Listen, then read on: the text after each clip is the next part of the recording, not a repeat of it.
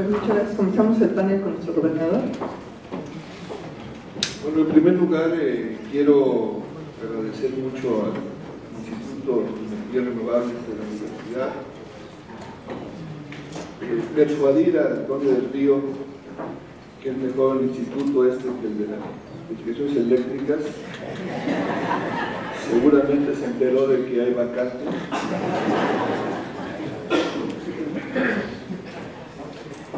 Y agradecer a ustedes la oportunidad de compartir esta mesa con Fluvio, con el ingeniero Jiménez Espriu, con Manuel, porque sé que vamos a tener eh, un rico debate y nos va a servir a todos este debate. A diferencia de Fluvio y de ingeniero Jiménez Espriu y de Manuel, yo no soy especialista en el tema, pero tengo una visión política del tema, he trabajado el tema y creo que tengo una opinión fundada para poder eh, expresarla a ustedes. En primer lugar, eh, yo quiero destacar, que acabo de hacer aquí mi acordeón, eh, en primer lugar quiero establecer de lo general o particular el escenario que tenemos. Tenemos en México un grave problema de finanzas públicas. Eh, en México ya los recursos presupuestales eh, no son suficientes y estamos ante una situación progresiva de sustituir la función del Estado por la función del mercado. En importantes acciones de infraestructura, en importantes acciones como la generación de energía y en importantes acciones como la inversión en educación e investigación, que no son pocas cosas. Yo acabo de lograr ahorita un condicionamiento en la reforma fiscal como responsable de la conferencia de gobernadores en educación para que el boquete de 83 mil millones de pesos en educación básica se corrija. Y se corrija porque si hablamos de reforma educativa con un boquete fiscal de ingresos de este tamaño, financiero, pues qué educación de calidad vamos a dar. No tenemos la suficiencia presupuestal para hacerla. Eso habla de la grave crisis de finanzas que hay en las entidades federativas porque ya el gasto educativo no está bajo la responsabilidad suficiente, bajo la suficiencia del presupuesto federal. Hoy las entidades tenemos que afrontar con recursos propios y como no hay recaudación suficiente localmente, sino por la vía de la deuda, estar financiando el gasto educativo de educación básica. Frente a esto, la otra parte importante es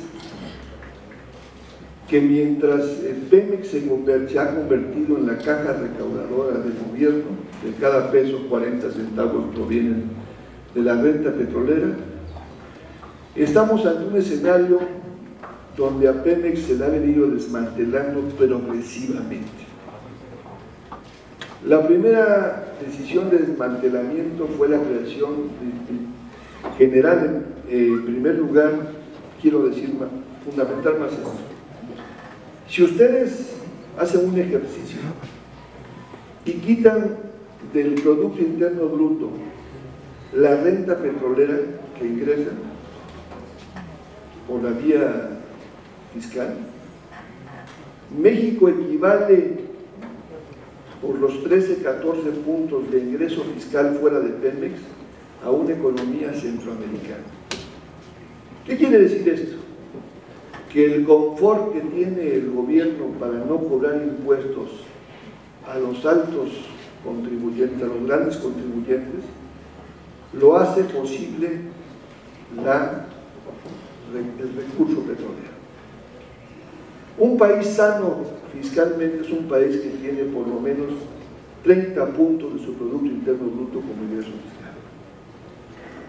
Imagínense qué potencia seríamos ¿Qué fortaleza de Estado tendríamos si además de la renta petrolera que nos da cerca de 17 puntos del PIB, tuviésemos un ingreso fiscal equivalente o más en el cobro de impuestos en una visión fiscal progresiva, es decir, entre más renta, más recursos, eh, es un producto del esfuerzo de todos, no del talento de los 50 grandes empresarios que son dueños y que disfrutan el, más de la mitad del ingreso de este país. No solamente Slim es el más conocido, Bayeres, la REA, qué sé yo, las 50 familias más poderosas de este. A tal grado que este país se ha convertido en exportador de capitales. Esos señores ya están comprando empresas en el resto del mundo con la renta de México, porque aquí la obtienen.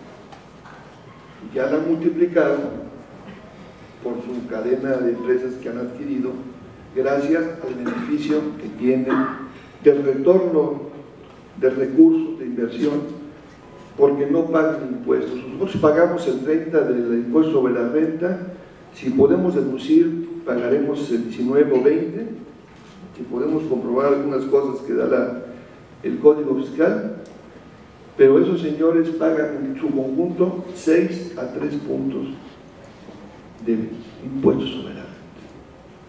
Y tienen un régimen especial de devolución de impuestos y tienen un conjunto de canonjías que les permiten deducción fiscal. Yo por eso digo que no podemos disociar el futuro de Pemex con la reforma fiscal. Eso es estructuralmente fundamental. ¿Qué otra, ¿Qué otra acción nos llevó a convertir a Pemex en lo que ha venido ocurriendo. La estrategia perversa de Carlos Salinas en una idea de privatización progresiva de hacer de Pemex cuatro empresas.